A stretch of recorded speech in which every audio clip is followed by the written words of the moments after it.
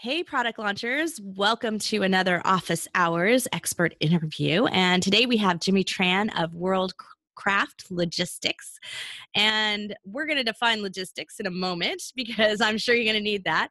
But I want to introduce you to Jimmy. I met him at a meetup for Amazon sellers, and um, I've just really enjoyed it. I've referred him to a few clients and really enjoyed the way that he works, which is why he's on this platform because we want people who really know how to service, know how to answer questions because you have a lot of questions. And if you get prepared ahead of time, if you know this information or if you get the information, you have someone you can trust to go to and get it, then it makes your your flow, your process, your launching faster, easier, safer, and more likely to be successful. So that's why Jimmy is here. So thanks for joining us, Jimmy. Hello, thank, thank you for having me here. And then um, I just want to uh, say that earlier you point out something that uh, you want to work with a freight forwarder that answer detailed questions. So uh, yes, I, I, I, I, I'm very detailed. I even make videos if they need me to. So yes, you do, and I've seen your emails, so I know exactly how detailed you are, which is why I, which is why I enjoy working with you. So, Jimmy, tell me how a little bit about you and your company. So my, my company, uh, I I've been doing this for ten years, right? But uh, I started my company um, about uh, five years ago. Uh, just like any Amazon seller, we start in our bedroom. So I start out of my bedroom, and right now we are at a 78,000 square foot warehouse. So we wow. grew from uh, from a bedroom to um, you know 78 uh, 78,000 square foot, and we're going to continue to grow because you know there's a lot of referrals because in the freight forwarding industry is mainly referrals right? And so uh, we do a good job with you and your client. That's why I'm here. And, yep. you know, like so, so I've been just been learning from you guys as well. Amazon seller are great marketing. They are. They're great at marketing, but the logistics side, and let's define because you're more than just um, freight forwarding. There's like a lot more to it. So, what yes. what's what's logistics? What does that mean? Okay, logistic is basically yeah. When you pick a freight forwarder, right? You don't just. I'll tell you right now. Any freight forwarder could move the cargo for you. Okay, any freight forwarder could just get your package from the factory to Amazon, but you need to find a freight forwarder that's going to uh, cater to you, right? So what we do is uh, I answer very detailed questions. You know that. I make videos so that people could follow the instruction and maybe share this video with their factory. Uh, recently, we make a video how to uh, do uh, packaging labels right? And we're gonna start making video on how many pieces should be in a box, like 150 pieces. You can't go over more than that. You can't go over more than 50 pounds. Things like that, right? So, like that's just great information right there, because you know a lot of your decisions that you're making early on in the product design process is like, well, how many should I put in a case?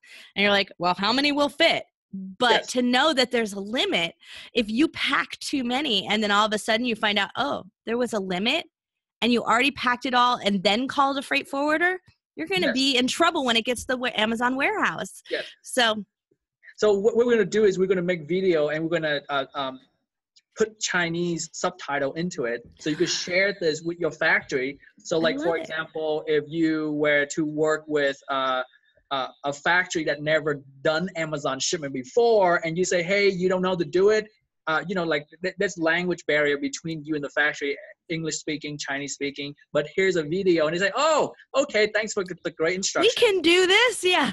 yes. So, so pretty much, and they will show this to their uh, 50, 100 staff in Chinese, and then everybody's on the same page. There's no uh, English barrier between you and the factory, and then the manager to the production manager to the staff. This is just a video, right? So that's Love what I'm that. planning to do. So what we do here is we do um, we um, we do the freight forwarding. Uh, once it get here to uh, we do the custom clearance as well. So that's a normal typical freight forwarder. But once it get to our warehouse, what we do differently from the rest of the freight forwarder is that other freight forwarder would just move your cargo to Amazon, not very detailed, or just move it to a warehouse because traditional freight forwarder work with traditional company. We move away from the traditional style because we know that Amazon seller, you got depend on Amazon to sell your product. So you depend on us as a freight forwarder as a checkpoint. So once your cargo hit our warehouse in China, we also check on it lightly to make sure that it have made in China to clear custom in the U.S. So there's going to be no problems, and it's going to because that hangs people up because the communication back can be very bad, so you don't know why it's held up. Yes, that's right. And then once it hit our warehouse here in the US, we also open up your shipment uh, only if you ask. Like, for example, if you were to sell fidget spinner, that's a good example, right? I can't give other example. Let's just say you sell a giant fidget spinner, right? So uh, we're gonna open it up and we're gonna make sure that have the FNSKU is gonna meet Amazon requirement. And then it, if it's use a plastic bag, it have suffocation warning. Pretty much we are your final checkpoint before it gets to Amazon. We took we take picture of your product and then we email it to you and you say, hey, this is your product um, that we did the final check for you. Here's the photo is it good enough? And the customer says it's good enough, then we send to Amazon.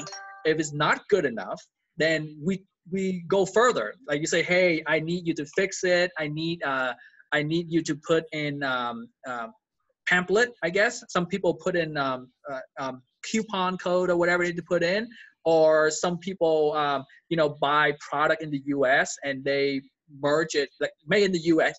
Merge the, the things, yeah, together. But it, some people market it that way because um, now your product could be made in the U.S. Right?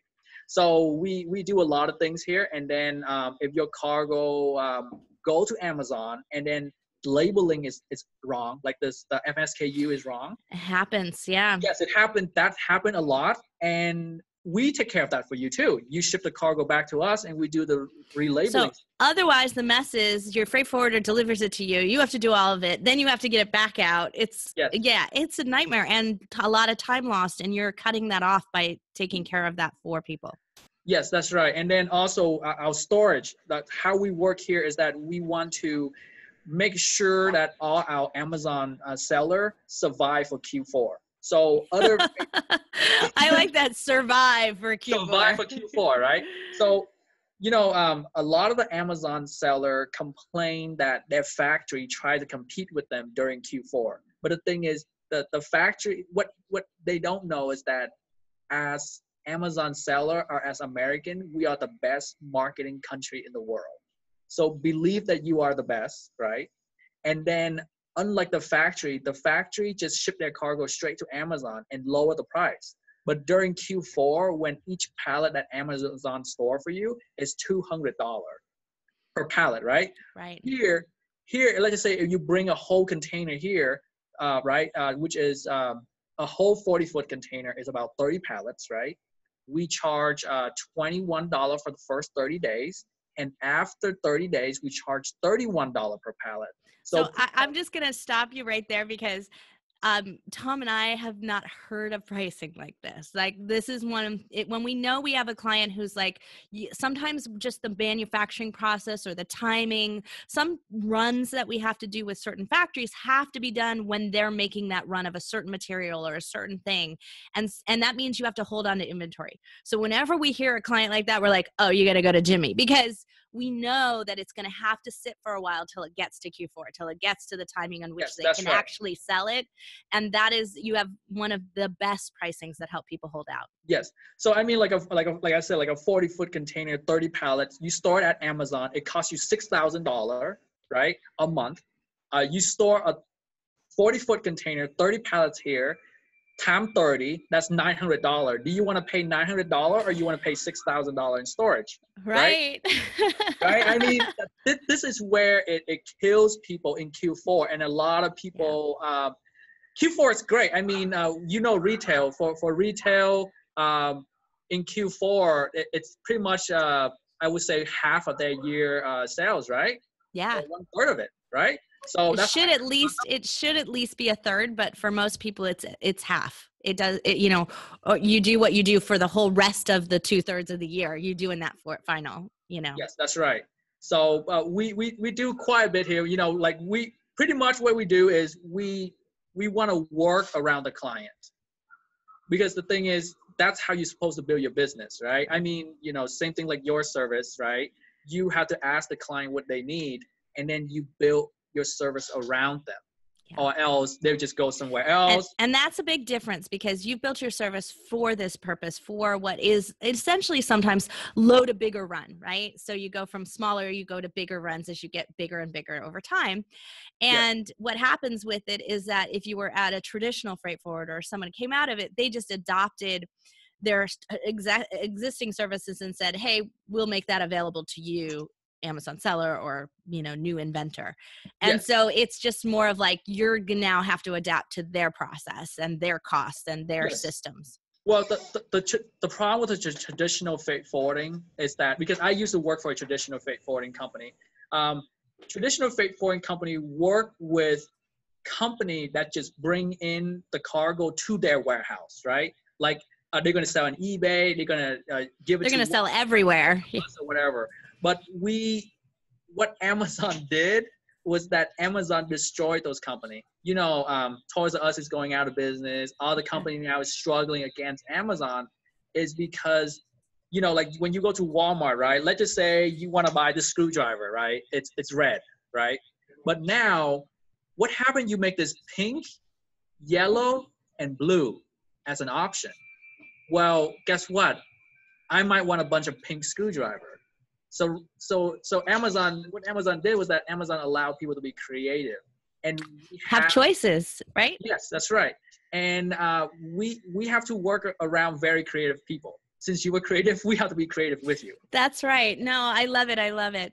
So so you know so logistics it, it involves freight forwarding, customs clearance, there's lots of documentation all along the way of all sorts of things that you have to do warehousing distribution and perhaps i'm going to call it light assembly or reassembly as you yes, insert right. things and, uh, and do them storage yes. and um you know and sometimes labeling so like yes. there's a there's a lot that it encompasses am i missing anything uh, yes, uh, about the importation, the document, right? So I just want to say that if anyone wanna like, let's just say if you want to import a product, and you have question about the duties or you have question about FDA, anything like that, they are welcome to contact me. It's 100% free.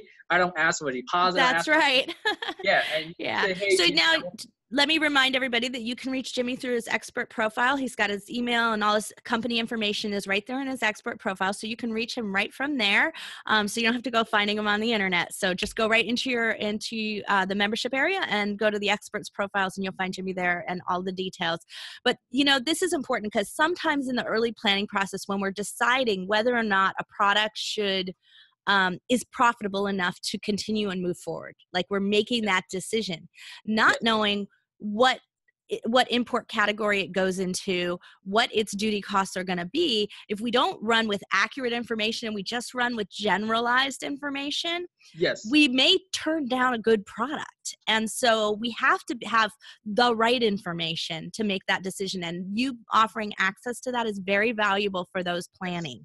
Yes, it, it, picking a fit forward and picking the right product is like picking the factory. You know, like that, uh, I feel I feel a lot of um, a lot of Amazon seller also make the mistake with picking the factory, right? Like some, you know how when you go on Alibaba, you you see the factory uh, um, minimum production in a week is like ten thousand unit, right? Or like, let, let's just say a, uh, two hundred units, right?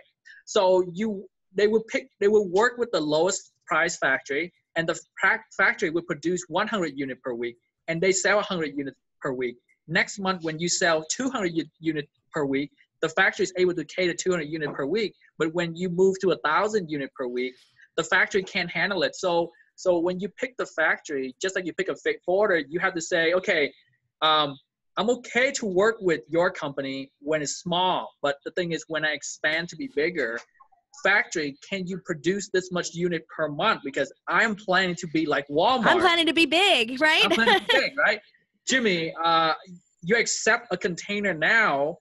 I want to know two years from now when I'm doing a container every single month, not every five months. Can you handle a con- Can you handle three containers? Can you handle five containers during Q4 for me? So you know you have to interview the freight forwarder for that.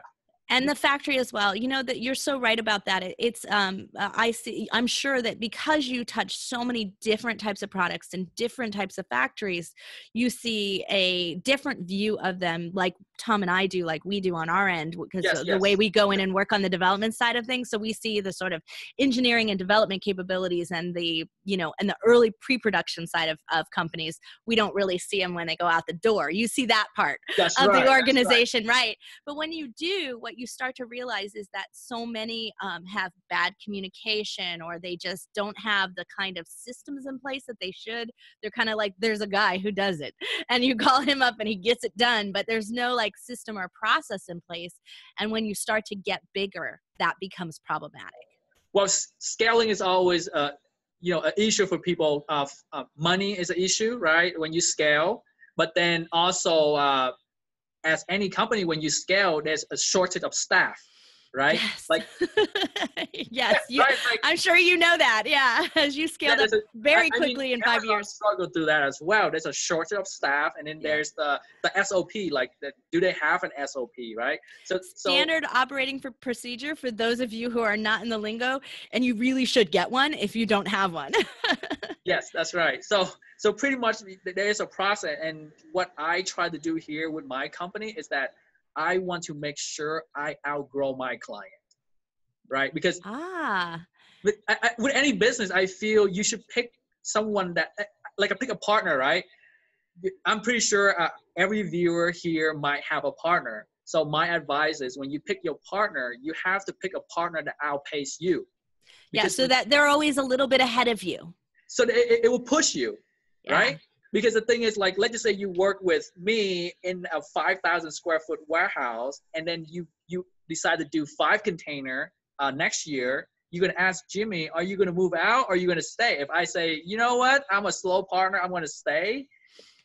Well, too bad, right? yeah So- you want someone who's going to be able to keep up or be ahead of you and Yes. I, I agree that's so so so smart so so let's talk a little bit because this is Product Launch Hazzards let's talk about some of the things you've seen really go wrong for people that that are are kind of common that you know that you see you know one or two things that that you've seen go wrong again and again and reasons maybe things don't pass customs or they get in and you have to unbox them all and do some work Yes. what's gone wrong for people Okay, so so um, number one thing is uh, made in China.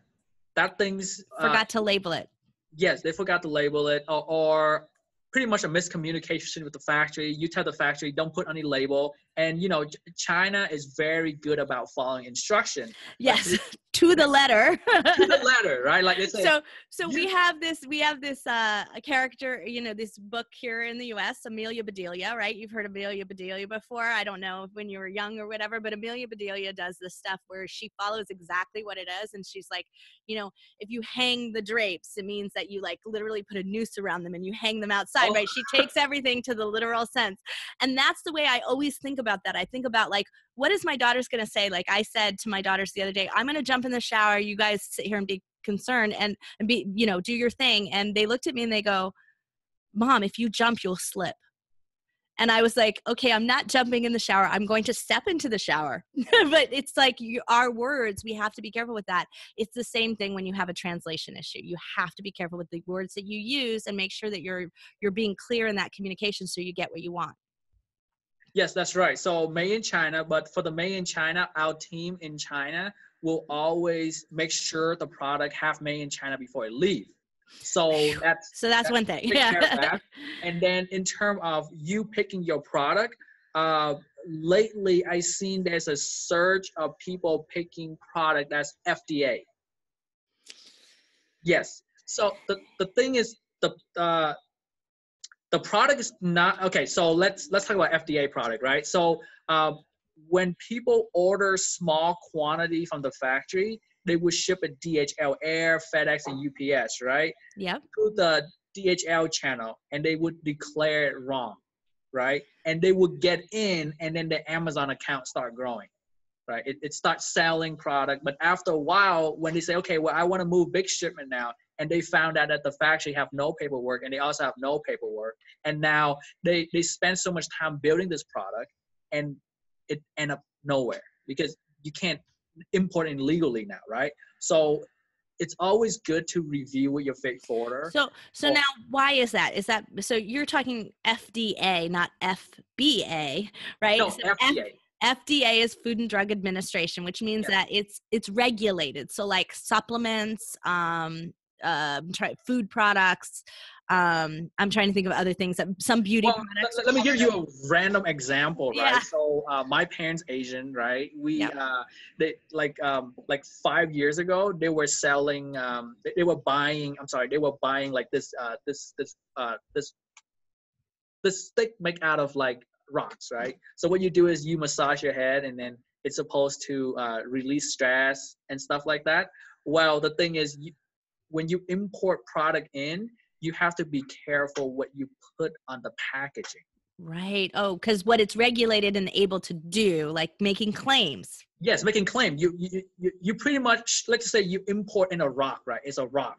Well, don't put it on the package making claims saying that it's gonna re- release stress when you when you put it next to your bed or you rub it against your body, right? It reduce pain. Don't do that. But- Health and wellness claims are the biggest area, right? Yeah. Yes, that's right. But the thing is, like people, people see other people put this product on Amazon, right? And people see them making this claim on Amazon. Well, and they they always ask me about it. Like, wait, you telling me I cannot put this stuff on my packaging, but I see this on Amazon all the time, right? So what I tell them is because when they import rocks in, they don't put anything on the rocks. It's just rocks, right? But when you put it on Amazon, you could put your listing any way you want. Yeah, the listings are not as regulated. They should be, but they're not. And thank goodness for people who want to sell that stuff.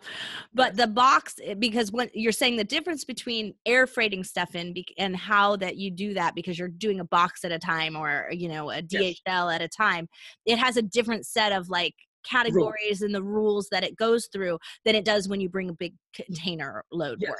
Like, like pretty much if you were to bring something in by DHL and it doesn't really meet the standard, US custom for the air express side, they will let it go. But once you bring something in like uh, over a thousand pieces by air freight or ocean freight, what happened is that now the custom officer going to question and say, well, this thing is going to go into regulation.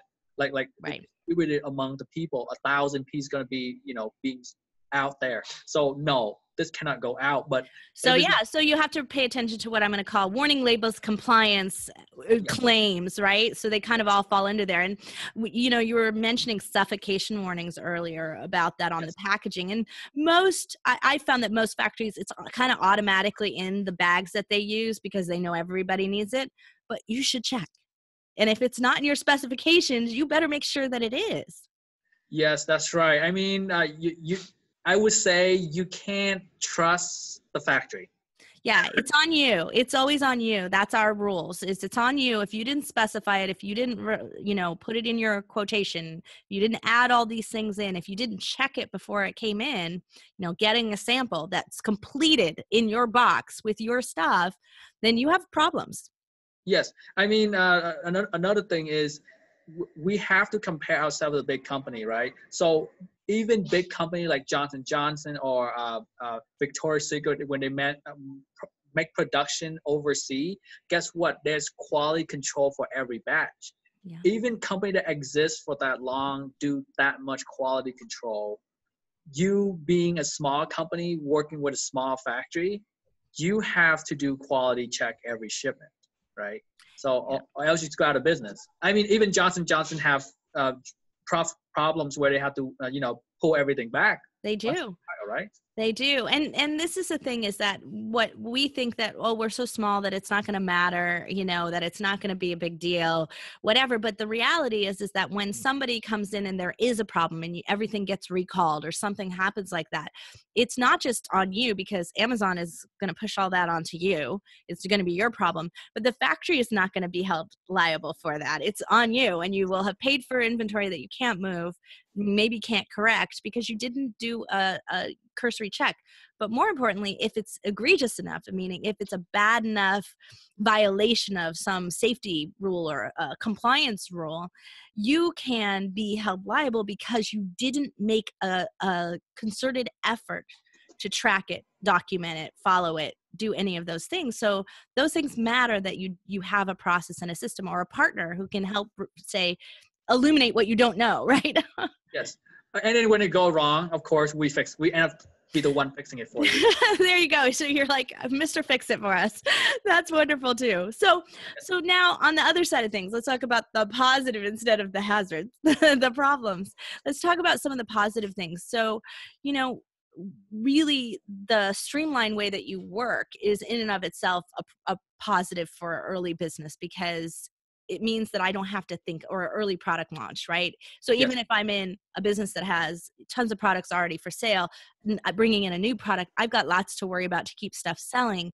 I don't have time to worry about how everything's happening and what's happening. You cut you'll you're willing to do it sort of I'm going to call it blind to me, meaning I can get an email once a week if I want. I don't have to see every little conversation if I don't want to. If I want to, I can. Yes so so pretty much we we we like you say you know we we streamline everything for you. We want to make sure like like there's a lot of back back office work. Like how we do it how we do with our clients that after a while our client would just tell us hey my product is ready. Please contact the factory. And we would reach out to the factory. We would collect the data and we would get all the information and we give our client the, uh, the rates. If the, the client accept then we just contact the factory again and then now the client doesn't have to stay up late at night you know and deal with the factory and stuff because we collect all the data for you and we just reach out to the factory and we say hey we're here to collect the shipment and it's ready to move. And then once it's moved then we tell the, the client the schedule say here's your schedule uh, when's the shipment going to arrive in the us and then uh, about seven days or three days before it uh, it gets here we notify the client again and then once it touch out 24 hours before it touch our warehouse, we ask the client, how do you want to get this to Amazon? Do you want to store some? Do you want to UPS some? Or you want to LTL some? So we, uh, because you, know, you know what, this is kind of important. The fact that you you don't make people decide that at the beginning, because you know a lot of companies it's locked in. That's something that I don't think. Oh yes, that's right. That's it's that's, locked in, and you know, but based on the time of year or when it finally gets through port or that happens to be a port strike or something like that and some things happen and now all of a sudden you're like I got to have them all sent to Amazon. Like, and so it changes on you. And some companies flip out and don't let you make changes. Oh yes, that's right. That's right. that's right. When that, that, that is correct. When when you work with, I, I, do realize that when you when client work with other freight forwarder, pretty much the other freight forwarder would say, okay, well, this is my process that I quote you, right? And then that's it. But for that's us, it. You're done. You're stuck. you, you said because we built it that way in China already right? That process, right? So, but for us, we understand that once your cargo get to our warehouse, um, let's just say if it's ocean freight, right? It's gonna take uh, 25 days, right? Within those 25 days, a lot of things could happen. You could do so well, you market so well, and you you sell out a product, right? Or you know, like oh, you you have too much product in, in Amazon, you say, hey, you know what? Don't send to Amazon because right now you send it in, those four pallets going to cost me $800 a month.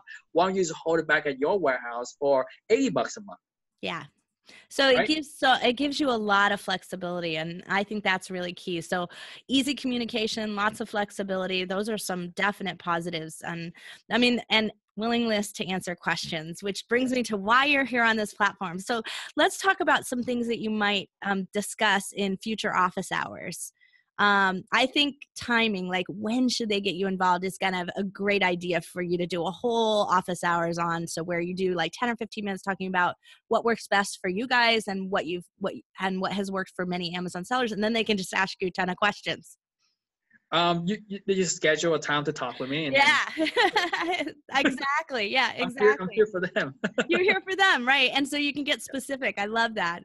Um, so you know, I mean, I just think there's so many things that people have questions about. It's like this big, like you're planning your launch and you're learning how to sell on Amazon, or you're already selling on Amazon, and you're really concentrated on that. And now you're learning your product, and you're getting your product ready, and you're doing that. And to make the freight forwarding and all of that logistics side of things an afterthought can sometimes hurt your profitability. Yes. But it can also really hurt your ability to launch on the timing you expected. Yes. Look, logistic is um I logistic is something you shouldn't learn to do. You just hire someone else. You should just hire yeah. yeah. you should learn who to call. yeah. Um, or email. yes, like for for us, like uh, for a staff to really understand logistics. You, you know, like let's say you work for Walmart, uh, uh, McDonald's, or whatever. Uh, three months is the normal time that you understand how to make a hamburger let's say right but for logistic it actually take about two years for a person to understand it and they work eight hour a day yeah. because because every every product is different every client is different and then everybody buy from different location and ship to different location it's not like um, you know like the uh, like uh, a hamburger where this is how you make a hamburger and you either order number one combo to number eight combo and you know like no like every everything every is different. different. Yeah. Yes. Oh, so, so, so good. Well, Jimmy, I am so glad you are on the Product Launch Hazzards platform and you're in, you have direct access to all of our members and they have access to you. So thank you so much for doing that. And we'll look forward to your next office hours. All right. Thank you so much.